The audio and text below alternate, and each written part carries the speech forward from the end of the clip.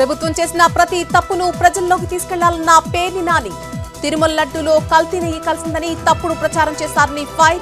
వాళ్ళలా అసత్య ప్రచారాలు చేయాల్సిన అవసరం లేదంటూ కామెంట్. నిజాయితీగా ప్రభుత్వ తప్పులను ఎత్తి చూపుతామని వ్యాఖ్య.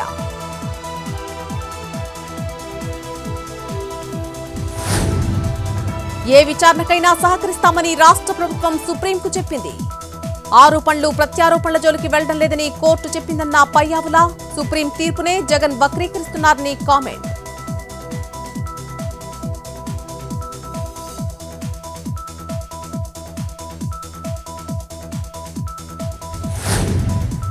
ప్రసాదంపై రాజకీయం చేయవద్దని సుప్రీంకోర్టు హెచ్చరించింది. జగన్ను ఉద్దేశించే కోర్టు హెచ్చరికలు చేసిందన్న మంత్రి ఆనం. గత ఐదేళ్ళు హిందూ ఆలయాలపై దాడులు జరిగాయంటూ ఫైర్ జగన్ చర్యలు తీసుకోకపోగా కనీసం నోరు మెరపలేదని కామెంట్.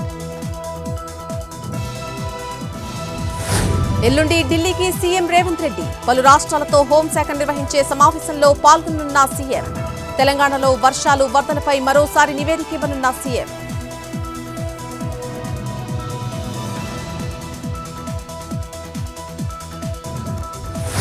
ఖచ్చితంగా రెండు లక్షల రుణమాఫీ చేసి తీరుతాం. రైతులు అధైర్యపడుతున్న తుమ్మల అన్ని సబ్సిడీ పథకాలను పునరుద్ధరిస్తామని వెల్లడి రుణమాఫీ పూర్తి చేసి రైతు భరోసా ప్రారంభిస్తామన్న మంత్రి.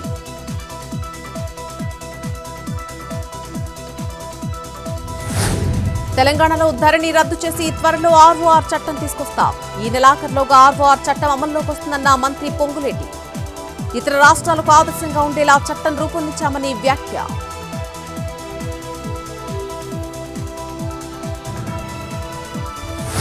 కావాలంటే గోదావరి నీళ్ళతో మూ కావాలంటే గోదావరి నీళ్ళతో మూసిని ప్రక్షాళన చేయండి. కానీ మూసి పరివాహకంలో పేదల ఇళ్ళను కూలిస్తే ఊరుకోమన్న హరీష్ రావు. దసరాలోపు రైతులకు రుణమాఫీ సంపూర్ణం చేయాలని డిమాండ్. లేకపోతే దసరా తర్వాత రాహుల్ ఇంటి ముందు ధర్నా చేస్తామని హెచ్చరిక.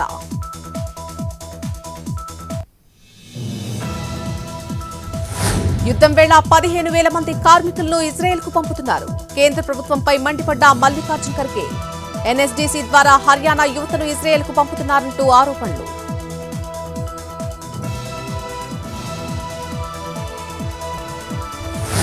హర్యానాలో రేపే అసెంబ్లీ ఎన్నికలు. తొంభై స్థానాలకు జరగనున్న పోలింగ్ ఈ నెల ఎనిమిదిన వెల్లడి కానున్న ఫలితాలు.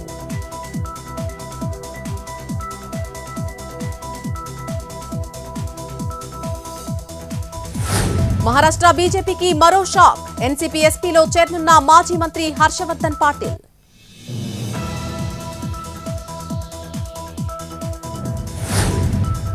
హెచ్సీఏ మాజీ అధ్యక్షుడు అజరుద్దీన్కు మరోసారి ఈడీ నోటీసులు. మంగళవారం విచారణకు హాజరు కావాలని అజార్కు ఆదేశం. వ్యక్తిగత కారణాలతో ఈడీ విచారణకు హాజరు కాని అజరుద్దీన్.